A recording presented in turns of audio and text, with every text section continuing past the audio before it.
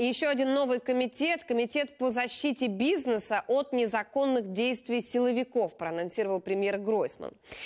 Как эта структура поможет предпринимателям, которые жалуются на постоянное давление со стороны правоохранителей, расскажет Богдан Вербицкий.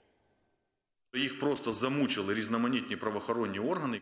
Давление на бизнес со стороны силовиков – главная тема заседания правительства. В Кабмине признают, принятый осенью закон о запрете силовых обысков на предприятиях работает не в полную силу. В правительстве настаивают, нужно довести дело до конца.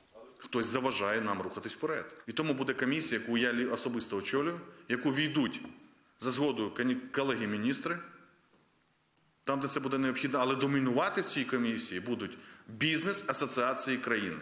І от ті нахабні з- вльоти на підприємства, які е, торгують, умовно кажучи, канцелярськими товарами, а їм влаштовують маски шоу стоп.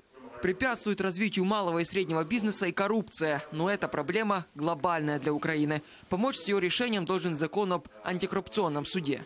Маю велику надію, що е, парламент об'єднається і в четвер ухвалить е, в першому читанні цей закон, що дасть можливість працювати його до остаточного ухвалення. Важливо, щоб цей суд нікому не від будь, будь від кого не залежав. І я хотів би, щоб всі розуміли, що всі є доторканими в країні.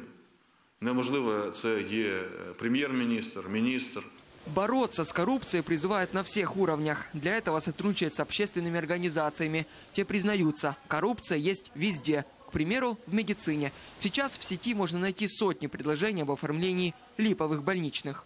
Велика кількість таких лікарняних це фальсифікат, який видається неіснуючими лікарями, неіснуючих лікарень. Тому е, електронний реєстр лікарняних як мінімум усуне фальсифікат, це точно. Говорили о тарифах. Снизить их пока не удастся. Сначала необходимо увеличить долю газа собственной добычи. А пока нужно учиться экономить. Для этого в правительстве запустили программу теплых кредитов. 400 тисяч сімей сьогодні скористалися цими кредитами, і уряд відшкодував 2 мільярди гривень. 14 рік ми мали 32% теплових лічильників, 17 рік вже 80%. І тут питання енергоефективності і взагалі ефективності виходить на передній план.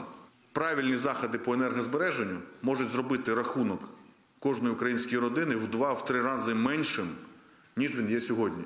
Следят в правительстве и за тем, как местные власти борются с последствиями непогоды. Чиновникам в регионах премьер напомнил об ответственности. Богдан Вербицкий, Сергей Ведмидь. Подробности телеканалу Интер.